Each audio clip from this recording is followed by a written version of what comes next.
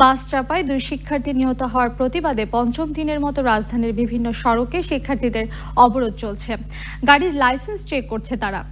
Elephant road এলাকায়ও সড়ক অবরোধ করে বিক্ষোভ করছে শিক্ষার্থীরা। সেখানে আছেন আমাদের রিপোর্টার এনামুল কবির রূপম। আমরা সরাসরি যোগাযোগ করছি তার সাথে। রূপম, এলিফেন্ট রোড এলাকার অবস্থা আমাদের জানান। হ্যাঁ শারমিন। সকাল থেকে ছাত্ররা সড়ক অবরোধ না করলেও প্রথম দিকে তারা বিক্ষোভ চালিয়ে যাচ্ছিল এবং এরপরে ছাত্ররা সড়কটা অবরোধ করে এবং তারা মূলত গাড়ির যে লাইসেন্স আছে তা- সে- সেটা তারা চেক করছিল। এখন এখন পর্যন্ত সেই কার্যক্রমই তারা চালিয়ে যাচ্ছে এবং পুলিশের ট্রাফিক বিভাগের প্রসিকিউশনের লোকজন এখানে উপস্থিত আছে।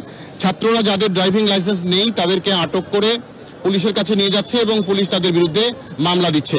ছাত্ররা বলছে যে দায়িত্বটা পুলিশের ছিল, সেই দায়িত্ব যদি পুলিশ পালন করত, তাহলে তাদেরকে আজকে রাজপথে নামতে হতো না।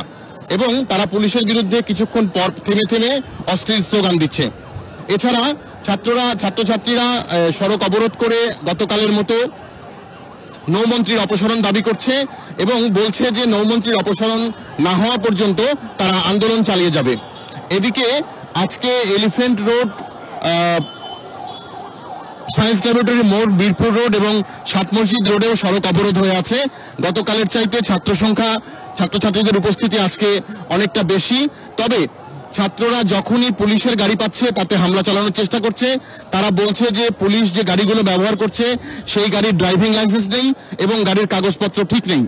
যে কারণে তারা এই পুলিশের গাড়ির বিরুদ্ধে মামলা দেওয়ার জন্য চাপ সৃষ্টি করছে, কিন্তু ট্রাফিক পুলিশের কর্মকর্তারা এখন পর্যন্ত কোনো পুলিশের গাড়িতে গাড়ির বিরুদ্ধে মামলা দায়ের করে নাই। একই সময়ে তারা বর্ডার গার্ড বাংলাদেশের একটি গাড়ি আটক করেছিল, সেই গাড়িটি পরে ছাত্ররা ছেড়ে দিয়েছে। এই মুহূর্তে অনেকটা উত্তেজনা এলিফ্যান্ট রোড এলাকায়। ছাত্ররা বিক্ষুব্ধ ছাত্ররা সেদিকে ছুটে যাচ্ছে এবং তাদের আন্দোলন কর্মসূচির প্রতি তাদের অবস্থান জানান দিচ্ছে। শারমিন। রূপম, ধন্যবাদ।